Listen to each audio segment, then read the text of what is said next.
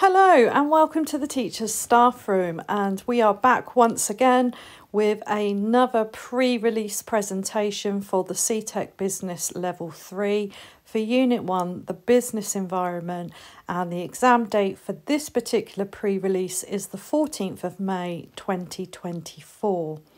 Now, it may well be that you're watching this without this particular PowerPoint, and that's absolutely fine.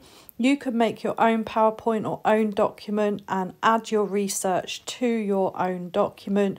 You don't necessarily have to have this particular PowerPoint.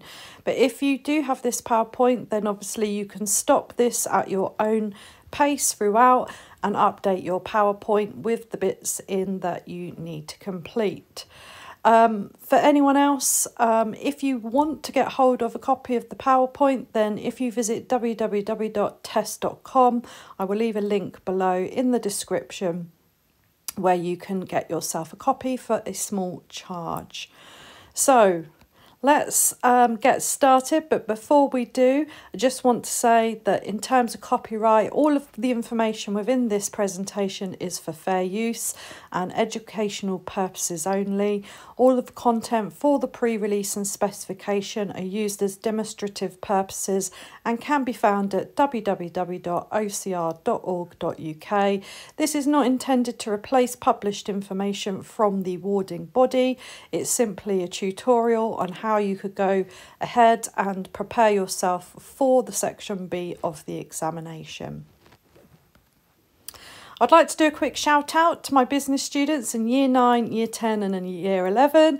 So hello, you know who you are. So um, if you're watching this, then uh, well, thank you for watching.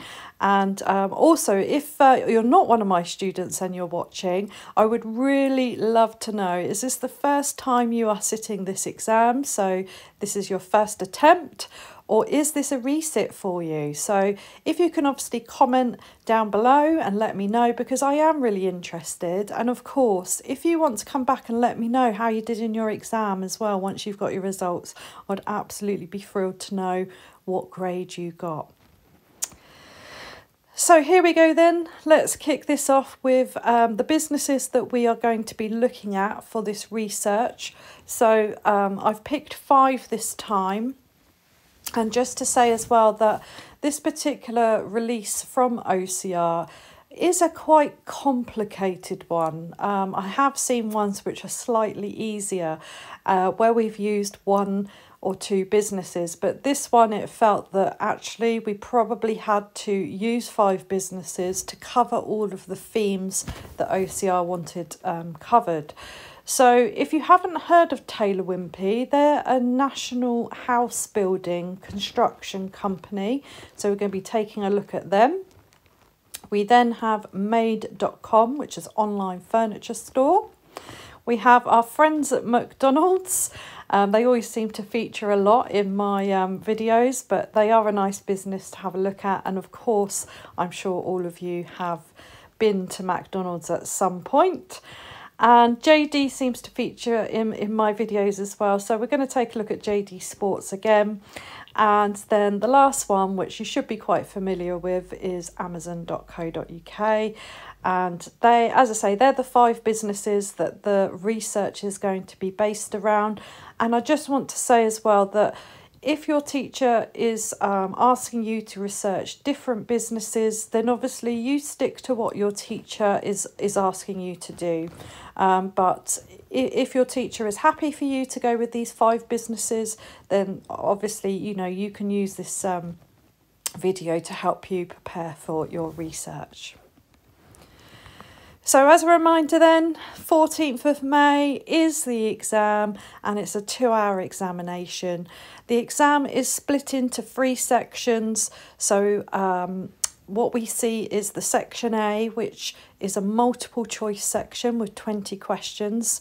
Section B is what we're looking at today, and this comprises of short answer questions and questions requiring more extended responses based on pre-released research brief. So this is what has come from OCR for you to actually research. So that's what we're going to cover in this video. And then section C comprises of short answer questions and questions requiring more extended responses based on an unseen scenario. So we are talking about a case study there. So you're going to get a case study for that section C and everything that you will answer will be based on that particular case study they've put forward. And hooray, we can use a calculator, and that's because obviously there is some finance within that paper, uh, but it's nice to know that you can take a calculator in. And as a reminder, when you uh, get the grades for this examination, the grading is graded at near pass, which is still a pass, so that's really good. If you can achieve a near pass, it means you don't need to resit the exam unless you want to obviously improve your grade. Then we see the pass, the merit and the distinction. So we don't have a distinction star coming off of this exam, but what we do have is that this unit is worth two passes or two merits or two distinctions. So the points that you can achieve are doubled because it's a big unit. It's 120 guided learning hours. So here's the instructions for the research and the rest of the PowerPoint. So this is obviously written for my students. So as part of your examination in May, you are required to carry out your own research. Use this document to place all of your research in one place. You may add pages and anything that will help you revise. So tables, pictures, graphs, and I would add there as well, if you find a link on YouTube that explains something, then, then use that for your revision. You know, however you like to revise and how you retain information, you can add anything you like to this PowerPoint or to your own revision notes as we go forward. And it goes without saying, the more research you do, the more prepared you will be for the questions in the section B of the exam. And that's really important as well because although we're preparing this research based on what OCR have asked us to look at, we don't know the questions. So we do not know until we open the paper what is going to come up in relation to these themes that, that we're looking into. So if you have done your research and uh, maybe even a little bit a bit more around the subject as well. You're going to be more prepared for whatever angle of question that's going to come up. Because at this stage to be fair it is a guessing game. We can look at the specification look at what they've asked us to revise we can apply it to businesses but just to obviously make you aware it's never going to be 100% because we don't know what the questions are now, for my students, it might be the same for your teacher. I make this a mandatory piece of work. So I say to students, you cannot sit the exam unless this is complete. Because let's face it, you're going to have a third of the exam that you're not going to have any marks for. And that would be a total shame. So, you know, put as much effort into it as you can. So here we go then. This is what has come from OCR for the CTEC Unit 1 exam.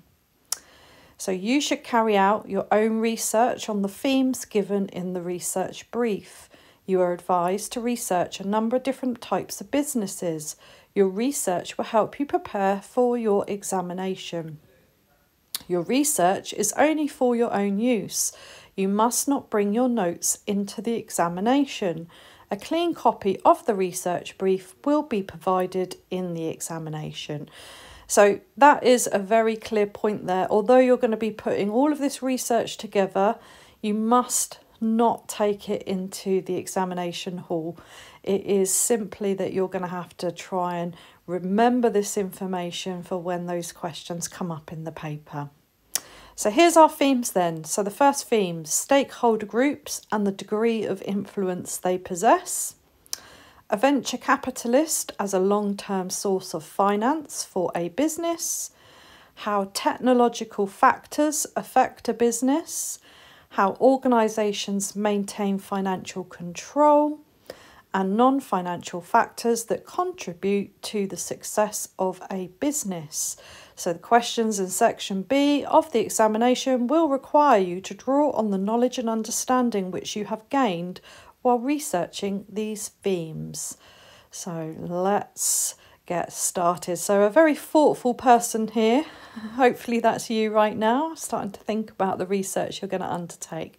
So, everything from here on in is about researching those themes, and hopefully, I've made it as simple for you as possible. And remember, pause throughout the video if you need to. Uh, but particularly because I probably will be speaking quite fast just to try and keep the video as short as possible because you don't want to be here for days. But let's get started. So here we go then. So the first theme, so the stakeholder groups and degree of influence they possess. Now, when we look at the specification, this comes under Learning Outcome 5, which is about understanding the relationships between business and stakeholders. So, what I've done here is I've just drilled down the specification. So, who are stakeholders? and then drilled down again in terms of the ways in which different stakeholder groups attempt to alter business behaviour. And then going up to 5.3, we then start to see roughly where they're going with this particular theme. Because if we look at the first bullet point under business responses include, we see the first bullet point says, the degree of influence stake sorry individual stakeholders possess is likely to determine how businesses respond to individual stakeholder objectives. So what is really clear to me in looking at this theme that they've picked is that you absolutely have to have the background information on stakeholders to be able to then understand the degree of influence they have on the uh, business and obviously how the business responds depending on how much influence these stakeholders have. So what I've done in the subsequent slides is giving you the kind of theory behind it. So here we have a slide on internal stakeholders. So at the top there you've got the definition and then I've broken it down to who the internal stakeholders are. And just be aware as well that trade unions do come under internal stakeholders just because uh, you may have a representative that sits within your organisation, even though they are an external body. Then slide uh, on the next slide, sorry, is our external stakeholders. So as you can see, there's many more external stakeholders and really and truly, you know, this is probably uh, more in line with a private ownership type business. Of course, if we were looking at public ownership, then you would see probably slightly different stakeholders uh, because they, they obviously um, are serving the public in terms of uh, their objectives. Um, so, for example, NHS, you may well see some other organisations they're linked to that are their stakeholders. But these typically tend to be, as I say, the sort of private owned uh, business and their external stakeholders. So then what I've done is I've, I've included what the stakeholder objectives are, just as a, a recap in terms of where we're going with this. So as you can see here, we've got the stakeholders down the left hand side, and then you've got what the stakeholder objectives are, and then obviously we have to start thinking about what is the conflict between what the stakeholders are trying to achieve and what obviously the board of directors are trying to achieve. And let's face it, in a private business, the board of directors are concerned with high profits, um, the performance of the business, the return on the investment for the shareholders, and that is going to conflict with the stakeholder needs. For example, if we look at customers at the top there, customers they want value for money, low prices, good service. Well, all of that costs money. That costs money to the business, which means uh, the directors can't have their high profits if they're satisfying those customers with their low prices and excellent customer service. So there has to be um, some kind of balance in terms of, you know, just how much low prices does the business give because otherwise they're not going to have profit and the shareholders are not going to be very happy. Now I'll let you know now that the uh, stakeholders that we're going to be focusing on for the research is our local community. So if we just take a look here, and remember you can pause this video, for local community, they are concerned with the local environment, so they want a nice place to live in. They don't want um, rubbish and noise pollution and uh, fix smog in the air. They want to live in nice places. Just think about your own neighbourhood for a minute and, you know, what what your neighbours um, want in terms of where, where you live. Of course, we want uh, this clean environment, but also we want access to good roads, good schools, good hospitals, uh, transport links, and things like that. And with that, obviously, we want jobs as well. Local jobs are really, really important to local communities. So we want this prosperity. The more prosperity we have in our area, the more opportunities there are. Um, and and it's it, it just goes round and round. That's just you know how the economy works. The more jobs you have, the more pay that's then flowing in the economy, and then you will be able to then enjoy buying additional luxuries and enjoying local services and eating out and things like that. And uh, before you know it, you've got a lovely neighbourhood that that you live in, and it's thriving. Now, if we look at the board of directors or owners' objectives, now that's going to totally conflict with what owners want. So let's just pretend, for example, Tesco's want to build a brand new store right bang in the middle of a nice green field. Well, there you go, there's the conflict because that is totally going against what the local community want in terms of what they have in their neighbourhood.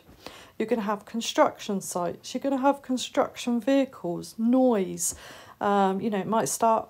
They might start work really early in the morning to late at night, and there's going to be an increase in traffic. Then we have an increase in pollution, rubbish, etc., etc. So the conflict is that they want quiet, unspoilt neighbourhoods without construction sites.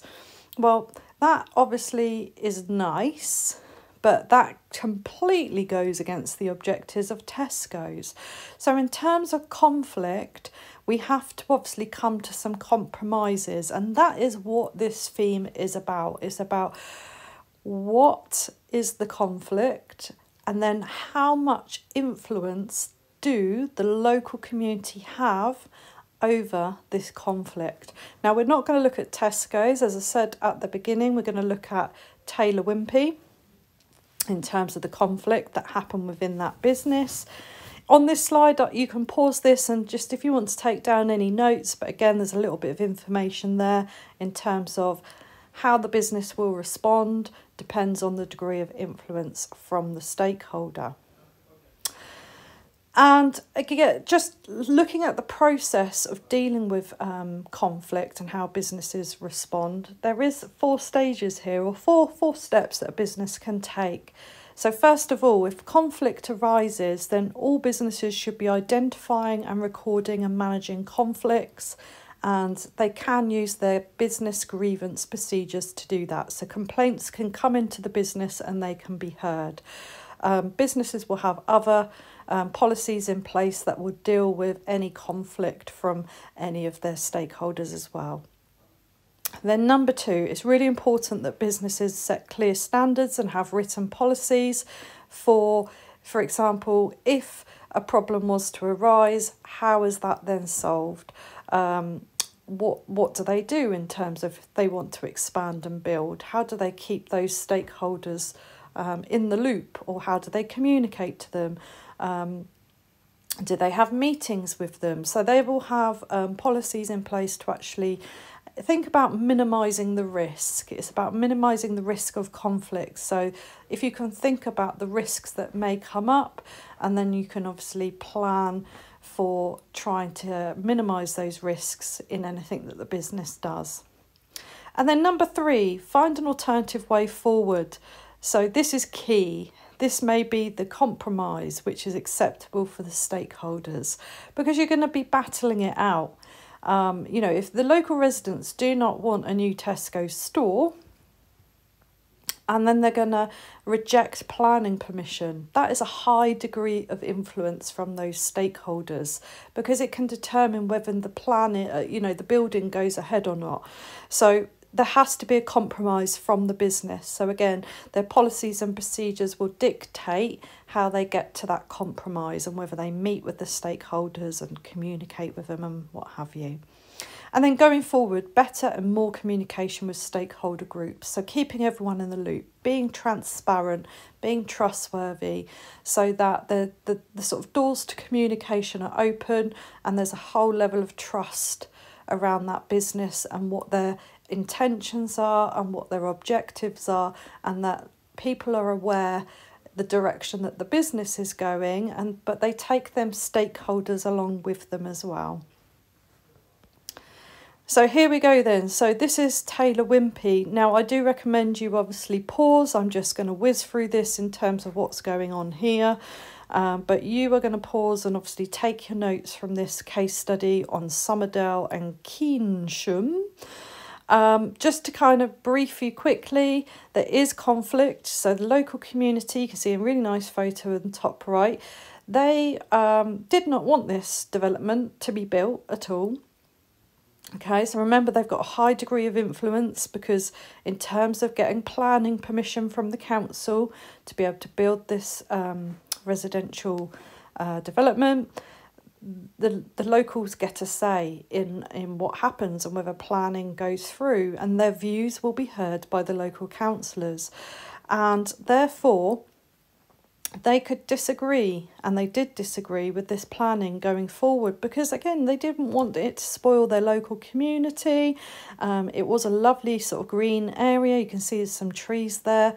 And again it's just another business coming in and making profit and not really thinking about the landscape and, and the local people that live there so that's where the conflict arose so again, you can pause this. So part of the uh, negotiations and the uh, compromise is that Taylor Wimpey had to listen to what these stakeholders were saying because they had this high level of influence. So as you can see here, a thousand visitors, so a thousand members of the community came to view the plans. They would have been putting their views forward. They would have, you know, been um, raising queries and questions and, you know, arguing whichever bits that they were not happy with. And therefore, Taylor Wimpey had to respond. They would have had their own internal policies on how to deal with this. And therefore, as part of the negotiations, Taylor Wimpey said that they would um, build some really lovely community open spaces, some riverside walks, some wide pavements in order to find a suitable way forward. So what I have done here as well is I have put the link through so you can go and read that case study in full if you want to or if you've not got this PowerPoint if you simply go to www.taylorwimpey.co.uk you can type and do a search for this case study and it will come up anyway.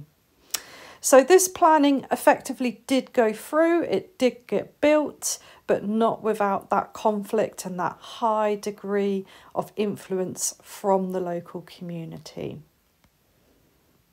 So in terms of your research then, you must be absolutely clear on what has happened in this scenario. And so what I've done here is included a slide where you can then type in the answers to these questions or you can make your own notes. Um, if you haven't got this PowerPoint, do it on your own document. So you absolutely need to understand what stakeholders are affected due to this housing development. And remember, there could be more than one stakeholder group there as well. So just double check, look back through, make sure you know, for example, that there could have been employees that were affected, or there could have been other external stakeholders that were affected, like suppliers, for example. Um, so think again about what each of those stakeholders are trying to achieve and potential conflicts that might be relevant to this case study, although we're focusing on um, local community. Again, because we just don't know what questions are going to come up. Then, number two, what are the objectives of the local community and the owners in this case study? So, again, refer back to that table and see what you can see through that case study and answer that question. What influence do they have on this particular business? So, I've talked about planning permission and local community can reject planning permission.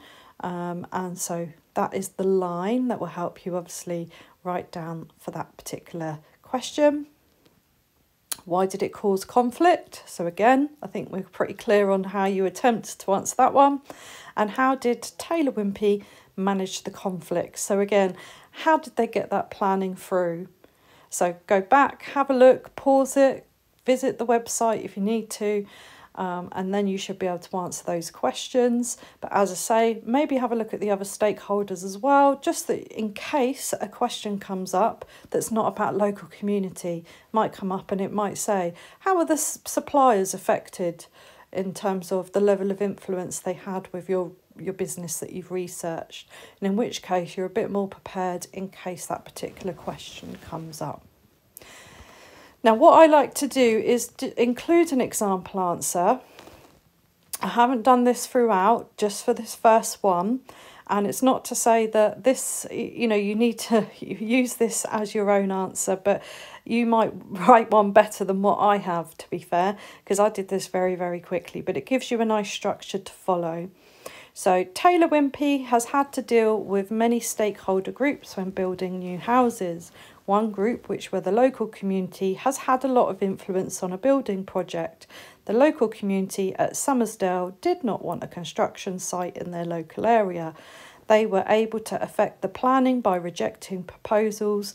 Therefore, Taylor Wimpey had to include community features to satisfy the local community. And of course, there, when I say you can add your own detail, what did they include? Give some examples. You know, I talked about the wide pathways and the riverside walks. You know, I could have added more detail here, but in your answer, you can add more detail. This led to the stakeholders agreeing to the planning, and Taylor Wimpey were able to build the houses, which led to more sales and more profit. So again, I've left you a little bit of space at the bottom there, or you can add another slide to have a go at writing the sort of model answer that you, in theory, would write if it came up about local community. Now, what is really important is the features of how we've structured this. So, when we have structured this, we have talked about obviously Taylor Wimpey and the stakeholder groups. We've talked about the local community. We've talked about a bit of a example of what happened, but one of the most important elements to get you into the higher level of points is the lead to part. So the lead to part has to show that you understand the impact to the business. So if we take the last line, which lead to more sales and more profit. So you have to be prepared to know what the impact is so that if we were looking at this at a bigger picture, so we've got the degree of influence. Well, if the businesses um, respond and negotiate uh, because they've got a high degree of influence, then that's good for business. Um, it shows that they're able to cooperate with their stakeholders, and if they do that, then they will be successful and it will lead to more sales and more profit. Now, it may lead to other things, it may lead to market share, it may lead to good reputation, it may lead to um, good uh, brand awareness or more brand awareness. Um, so don't just think sales and revenue all the time or sales and profit. There are other things that it can lead to for the business as well. But as I say, I'm going to, on the next one, give you the actual structure that you're going to follow. And then you're going to obviously have a have an attempt at writing your own answer. And again, try it with a different stakeholder. So, you know, add another slide and write it as if you're writing that suppliers are the business with a high degree of influence or the um, I don't know the employees are the the stakeholders with the high degree of influence. So just, you know, have a play around just so that you are fully prepared depending on what question comes up. Then we go to number two, which is venture capitalist as a long term source of finance for business. And this was a tricky one in that it's not fairly straightforward in terms of where this theme is coming from. Of course, we see it under um, Learning Outcomes 7, which is why businesses plan and understanding why businesses plan. And then, of course, the appropriate sources of finance, and that's where we see venture capitalist. So, what I've done here, and again, pause at your own leisure, but I've given you the um, the theory behind venture capitalists, and I've also reminded you it is an external long term source of finance. And when you're considering venture capitalists, you really must consider what is the finance for. So, what is the purpose? Why would a business be using a venture capitalist? Is it because of what they're trying to finance? Is it because of the length of time that they need the money for? So, just have a little think in terms of why this could be a, a good source of finance, depending on obviously what the business is up to. So I've given you the definition there, the advantages and disadvantages of using this type of finance. Now, for this particular one, we're going to use made.com, but I've kind of taken a step back here to actually look at the company that they used. So Made.com was actually um, sourced from a capital venturist company or capitalist venture company, depending on which way round you say it, by um, ProFounders. They are a massive um, company. They invest in a particular um, sort of industry and market, which is all to do with tech and digital media. So that is their specialization that where they were going and invest in, in startups and what have you. So uh, they mainly sit in London. They have offices in London, but they are all across Europe and they have business dealings and portfolios in Europe. Now, some of the people, or say people, some of the businesses they've invested in, so there's our made.com, TweetDeck, EasyCar, and um, lastminute.com as well, and another one called Bebo. So you may have heard that, you know, they have got some pretty big companies on their books. So um, as you can see as well, the investment level. So this is probably one of the reasons why companies turn to this particular business because they will invest between 500,000 and about 2.5 million in terms of um, investment. So we're talking huge sums of money, which probably a bank would be like, no, not if you're a startup with no trading history. Um, but you know, if you've got a really good business idea, that's what these venture capitalists are for to get these businesses off the ground. As I say, particularly tech businesses, because um, there's lots of money to be made in technology. So it's a really great way to get some investment without going through a bank. So again, there's a little bit of information here because when you use a venture capitalist firm, you're not just getting the investment. So again, pause this, take your own notes or what have you, but you're getting a lot more. You're getting that specialist advice.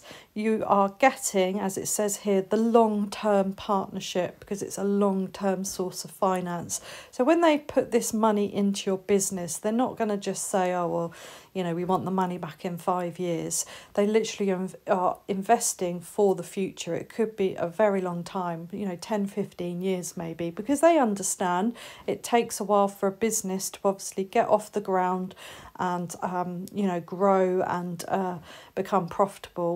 So you're getting a lot more. Um, and um, remember as well that when you're um, investing, it may well be that you're handing over a share of your business. So this company here has, has actually made it quite clear that they will allow you to have your own autonomy. And that means that you can make your own decisions. And um, obviously, they're there for giving you advice. But on the same side, they want you to feel that you're still in control of your business. That's really important. And again, um, if you want to look at this particular business, if you just type profounderscapital.com into Google, they will pop up. So here's the actual business we're going to focus on. So made.com, they are a business, they invested in this high quality furniture business, which, okay, isn't tech, but it's the platform that this was done. That's the technology that ProFounders were interested in because they were connecting the furniture manufacturers so lots of different furniture manufacturers, probably over Europe and globally, to customers, which is a complete unique business model that we probably haven't seen before. Um, and because of that, it's created this brilliant online shopping experience for everyone involved. So that that's what I would suggest is why they um, invested in this business, uh, because that is their area of expertise, the technology side, and um, it was quite unique in that we've got manufacturers dealing direct with customers. So, of course, if you want to look at made.com as well, just, just go on their website. There's some information um, on there about their business as well that you might want to read into. But there's your slide then. So be prepared to, that you can answer these questions. So you must have a look and be understanding what venture capitalist is. And then why would a business choose this type of finance? What may be the drawbacks to this type of finance? So have a look at the disadvantages in that table. Um, Made.com used a venture capitalist to fund their startup. Why did they choose this type? So again, go back to those slides, have a little look and uh, make your assessment of why they chose, for example, this over a bank. And then what else did ProFounders offer the business? So, in addition to the finance, what else did they um, offer this business as an investor go, uh, going forward? So, if you can answer those questions, I'll pretty much say that we're on the on the right lines to be able to cover that particular theme.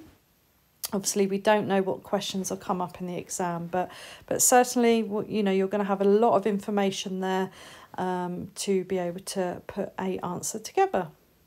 And that's where you're going to do it on this slide here. So again, I've given you a bit of space that you can practice having a model answer and I've given you the structure here. So what you saw with the Taylor Wimpey scenario, I've given you the actual exam structure you're going to use. So point, so what is what is your point that you're making? Explain it out, give an example, and then leading to what's the impact to the business. And I forgot to mention on the other slide as well, the absolute key thing as well is application to the business. So with Taylor Wimpey, you were talking about um, it would be about building projects, houses, construction, um, uh, big wide open spaces. That is all specific to that business. On made.com, your application must include obviously furniture, online shopping, technology, design. So that is then you applying this answer to this specific business. Um, you do lose points if you don't include application, so make sure that you do it. And with the leading to, again, just be thinking what's the impact on made using a venture capitalist company. So what is the benefit? Why is that good? In which case, you know, we're going to see the increases in sales, revenue, market share, um, more customers, reputation, you name it, or you know, expanding um, into new markets, something like that. But but I'm sure that with your practice, you will take elements and then obviously bring it to a what is it leads to moment when you write it. And then number three, so how technological factors affect business. This comes under learning outcome six. Understand the external influences and constraints on business and uh, sorry, and how businesses could respond. So fairly straightforward one. Um, drilling it down to technological factors and then under technological factors we have got a little bit that says automation communication purchasing sales and mobile so they're the elements where we see technology within businesses. And a bit of theory for you to sort of pause and read through and sort of take your notes. So this is what we're talking about, hardware, software, mobile technology, automation and factory machines. So they're the things that possibly you could be asked um, around technological factors in section B. And here is our, I like to say our good friends, only because they pop up quite often, but McDonald's, we are going to focus on this one because you are all probably customers of McDonald's and you have all probably used the self-serve checkouts by now. And that is where technological factors have really impacted this business and it has been fantastic for McDonald's. So what I've done is included a link from where I got this research from. And of course you can obviously pause it and write down and read your uh, this slide and take down your notes. But again, if you haven't got this um, PowerPoint to click on link, then you can just type that into Google and the um, article should come up. Now, what is slightly harder if you haven't got the PowerPoint, um, but the YouTube video that I've put above that is actually a YouTube video on the self-service checkouts. So by all means, have a little look at that video, just you know, to set in your mind what we are talking about if you're a little bit unsure. Now, here we go. We have the research for this theme slide. So you must be clear in knowing what is automation. Why would a business choose to use automation? What may be the drawbacks of automation? And what impact has automation had to the customer of McDonald's. So just be clear that you could answer any of those um, when it comes to um, the research theme for McDonald's. Of, of course, we're focusing on the self-serve checkouts, which is adding to this automation. Um, so yeah, see what you can do. If you need to obviously do a little bit more research, if you feel that you need a bit more information, then just go to that link, um, type it into Google if you haven't got the PowerPoint, and you will see that there's a vast amount of information on just how successful these self-serve checkouts are.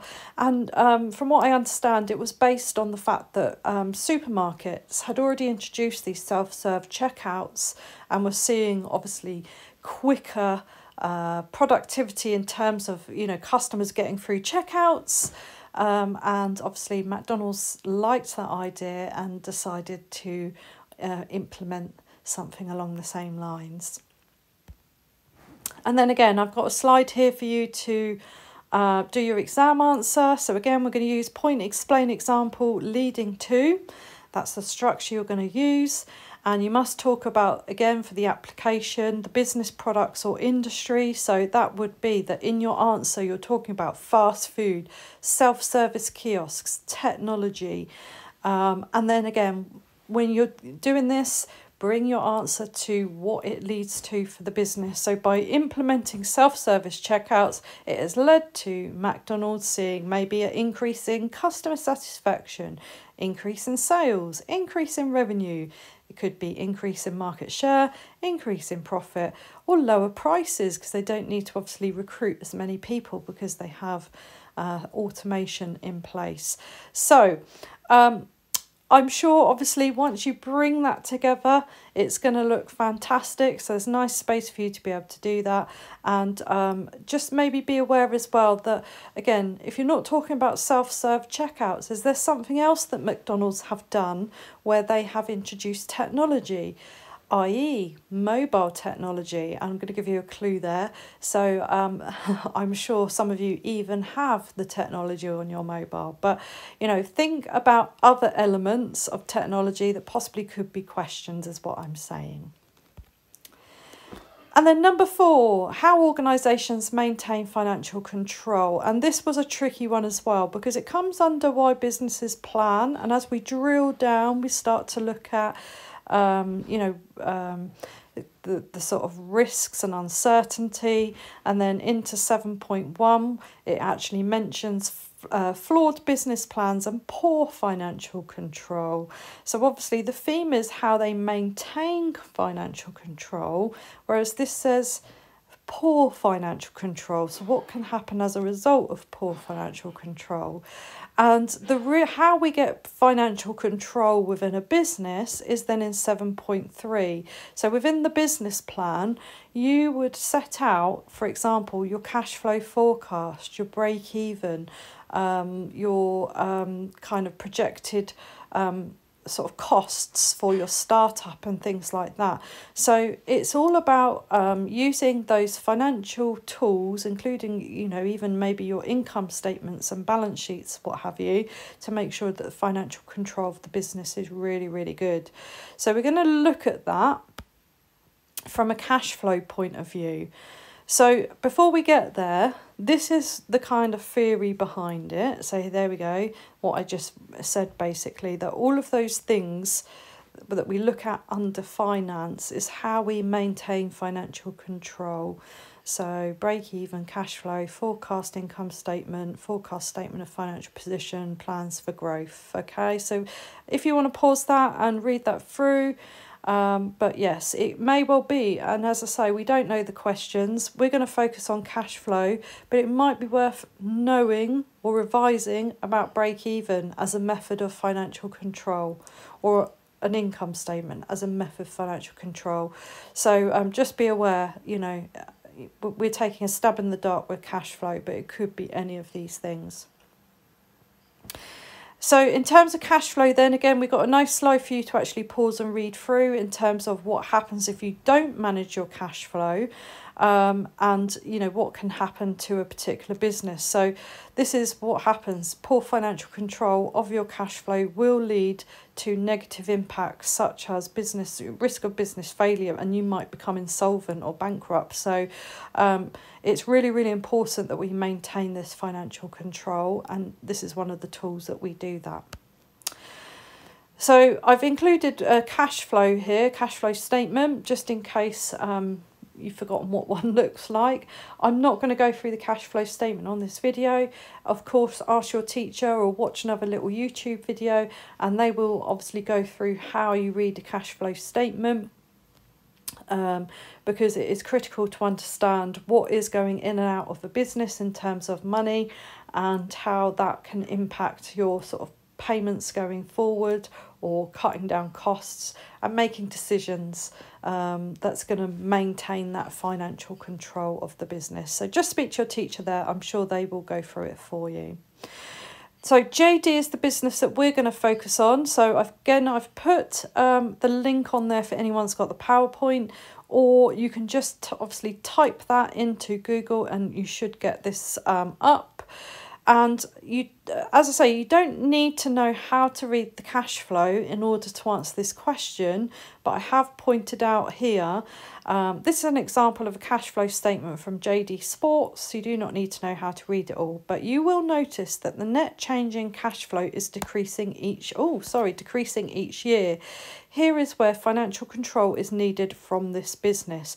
So it's a little bit small for even for my eyes on, on my um, iPad here, but um, you'll see in 2023, um, our net change in cash flow. So in 2023, it was 102.5. In 2022, it was 225.4 if my eyes are not too blind, and therefore we have seen a decrease. So we would be starting to ask questions in terms of, you know, how are we managing this cash flow? Because obviously there's a change, a net change in cash and what are the reasons behind that?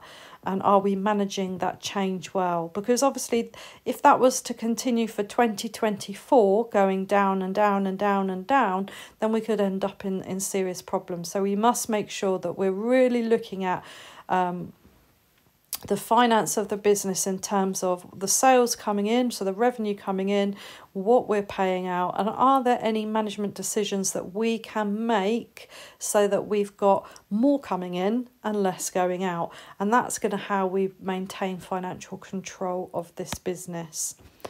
So here we go then. So here's the questions that you can obviously pause and write into this PowerPoint or write your notes or on your own personal document if you're doing it on a separate document.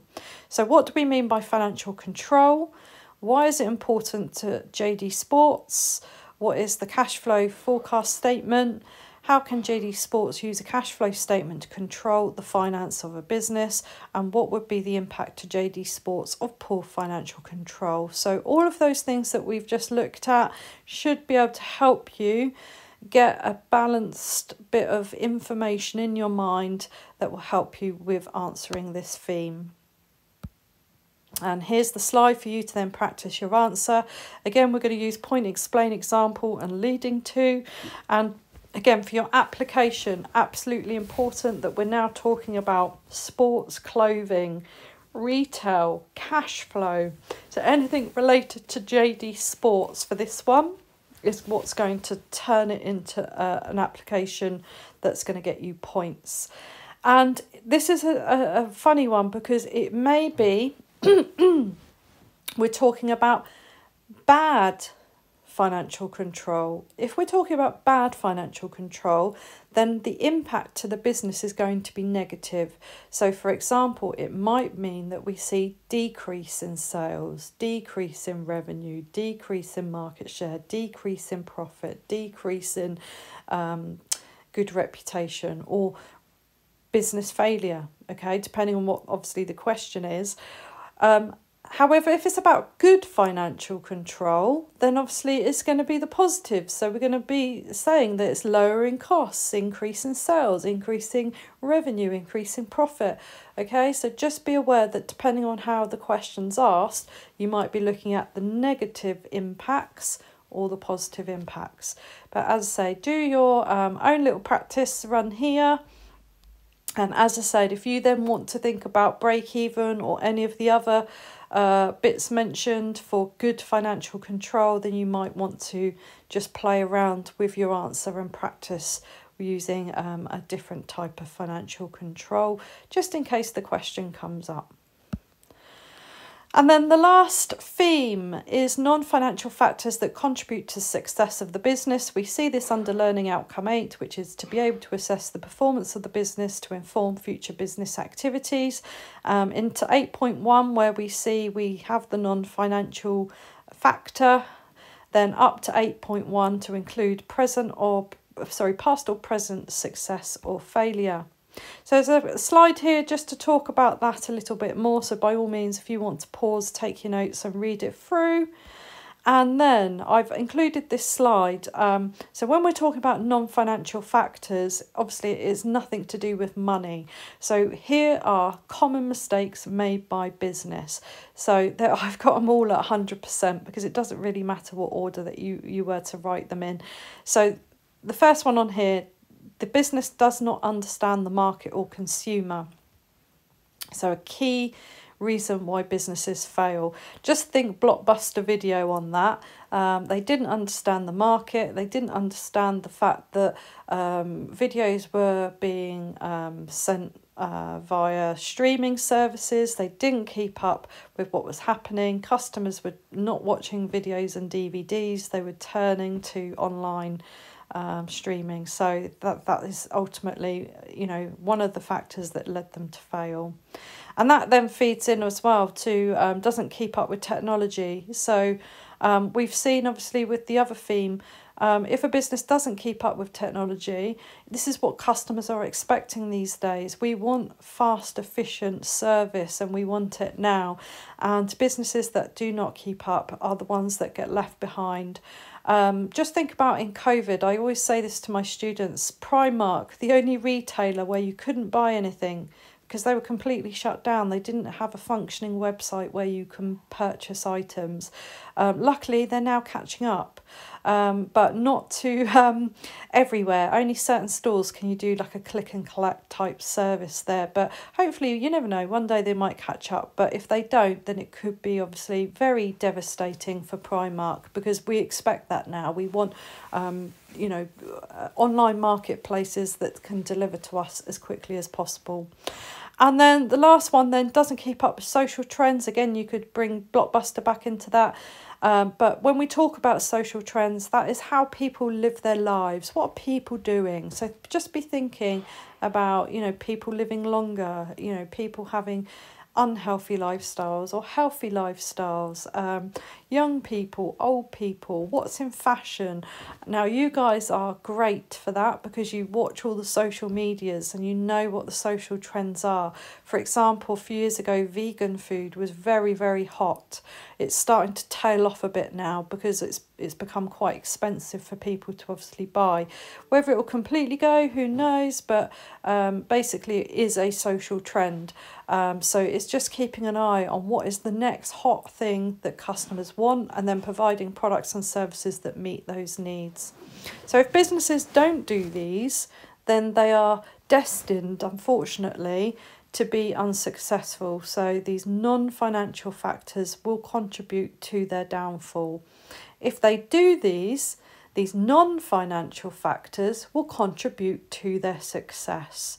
So, again, we don't know what the exam question is going to be. Is it going to be the mistakes or is it going to be the success? In which case, you can use this either way around. And the business we're going to focus on is Amazon, and they have been brilliant at non financial factors.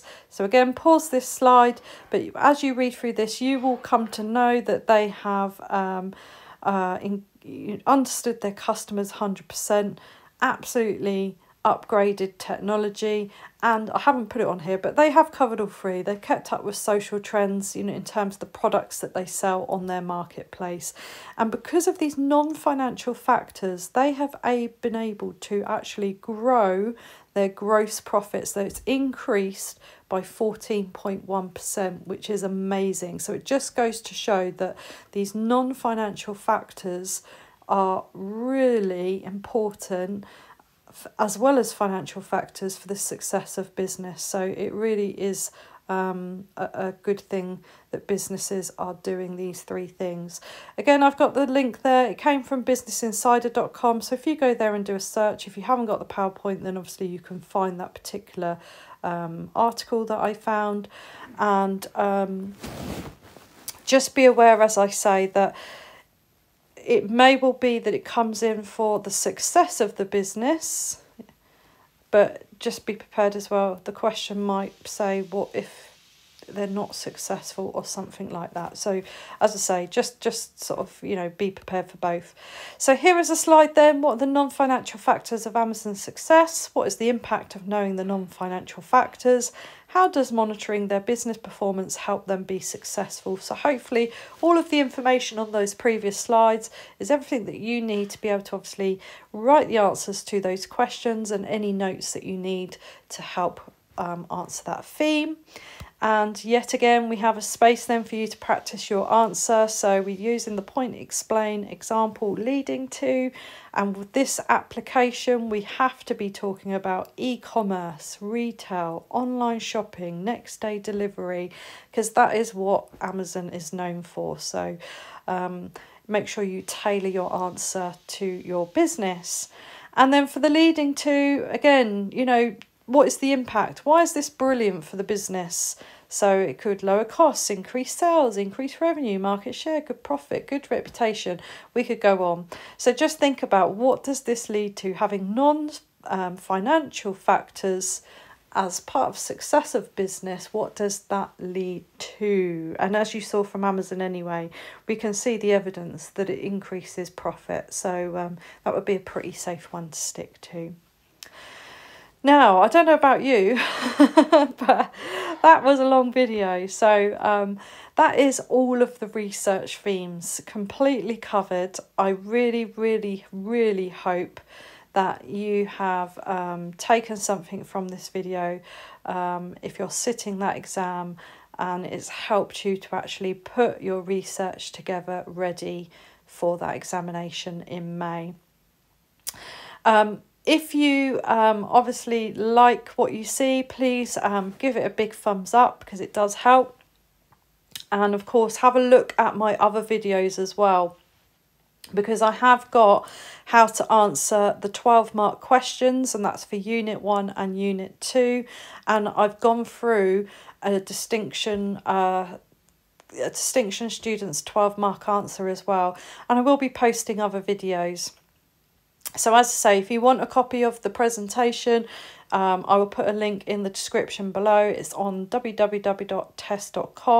And as I said at the beginning, please, please, please come back. Let me know what your grade is, or tell me if this is a resit or the first time you're sitting this examination. But until next time, thank you very much for watching. I'll speak to you soon.